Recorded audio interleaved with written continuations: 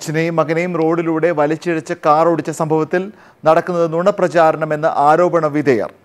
അക്ഷയും പിതാവ് സന്തോഷം ഉൾപ്പെടെയുള്ളവർ കാർ തടഞ്ഞു വെച്ച് മർദ്ദിക്കാൻ ശ്രമിച്ചു എന്ന് കാറിലുണ്ടായിരുന്ന കുടുംബം ആരോപിച്ചു. പ്രാണരക്ഷാർത്ഥം രക്ഷപ്പെടാൻ ശ്രമിക്കുമ്പോഴാണ് സംഭവം ഉണ്ടായതെന്നും വിശദീകരണം. കാർ തടഞ്ഞപ്പോൾ ഉണ്ടായ സംഭവങ്ങളുടെ തെളിവായി എറണാകുളം സ്വദേശി ജോസഫ് ജോണും കുടുംബവും പോലീസിന് വീഡിയോ ദൃശ്യങ്ങൾ കൈമാറി. നമ്മളെന്ത് ചെയ്യാന്നാണ് പറയുന്നത്?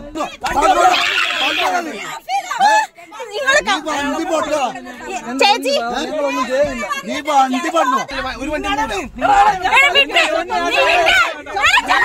എടി, വണ്ടി ലോക്കായിക്കേ. വണ്ടി ലോക്കായിക്കേ. ഡോറിട്ട് ഇട്ട് അടച്ചോണ്ടിരിക്കുക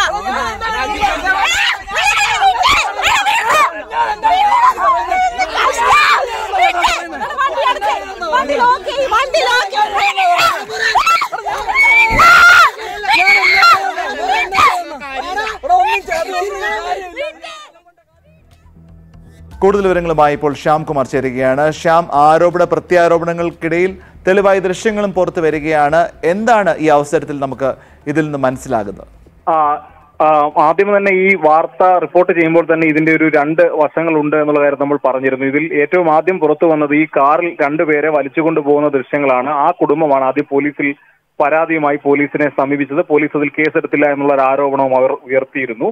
ഇപ്പോൾ എന്തായാലും അതിന് പിന്നാലെ പോലീസ് കേസെടുത്തിരിക്കുന്നു. കേസെടുത്ത് കേസെടുത്തിരിക്കുമ്പോൾ രണ്ട് വരെ കേസെടുത്തിട്ടുണ്ട്.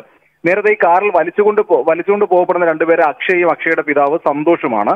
ഈ കാറിനുള്ളിൽ ഉണ്ടായിരുന്ന കുടുംബമാണ് ഇപ്പോൾ അതിന്റെ മറുവശത്തുള്ള ഈ ദൃശ്യങ്ങൾ ഇപ്പോൾ പുറത്തുവിടുന്നത്. എറണാകുളം സ്വദേശിയായ ജോസഫ് ജോൺ എന്നയാളും അദ്ദേഹത്തിന്റെ കുടുംബവുമാണ് ആ കാറിൽ ഉണ്ടായിരുന്നത് അവർ പറയുന്നത് അനുസരിച്ചാണെങ്കിൽ ഇന്നലെ ഈ പറഞ്ഞതുപോലെ രാത്രിയിൽ ഇവരുടെ വാഹനം കടന്നു പോകുമ്പോൾ അക്ഷയയും അക്ഷയുടെ സഹോദരിയും സഞ്ചരിച്ച വാഹനത്തിലേക്ക് ചെളിവെള്ളം തെറിപ്പിച്ചു എന്നുള്ള ആരോപണം ഉയർന്നു. തുടർന്ന് അക്ഷയ് വഴിയിൽ തടഞ്ഞു നിർത്തി. അതുമായി ബന്ധപ്പെട്ട് വാക്കുതർക്കമുണ്ടായി.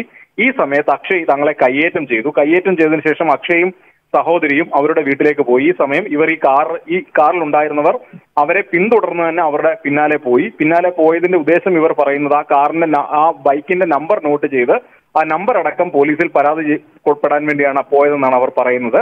അങ്ങനെ അവരുടെ വീടിന് മുന്നിലെത്തിയപ്പോൾ അവിടെ ഒരു സംഘം ആളുകൾ ഒന്നിച്ച് ഇവരുടെ ഈ കാർ തടയുകയും കാറിനുള്ളിൽ ഉണ്ടായിരുന്നവരുടെ കഴുത്തിന് കുത്തിപ്പിടിക്കുകയും ചെയ്യുകയായിരുന്നു. ഈ സമയത്ത് പ്രാണരക്ഷാർത്ഥം വാഹനം മുന്നോട്ട് എടുക്കുമ്പോഴാണ് നമ്മൾ നേരത്തെ കണ്ടതുപോലെയുള്ള ദൃശ്യങ്ങൾ ഉണ്ടായത് എന്നുള്ളതാണ് ഇവർ പറയുന്നത്. എന്തായാലും രണ്ട് കൂട്ടരുടെ മൊഴിയും ഇപ്പോൾ പോലീസിന് മുന്നിലുണ്ട്. ഈ സാഹചര്യത്തിലാണ് രണ്ട് കൂട്ടർക്കുമെതിരെ ഇപ്പോൾ ചേരാമല്ലൂർ പോലീസ് കേസെടുത്തിരിക്കുന്നത്. മനു.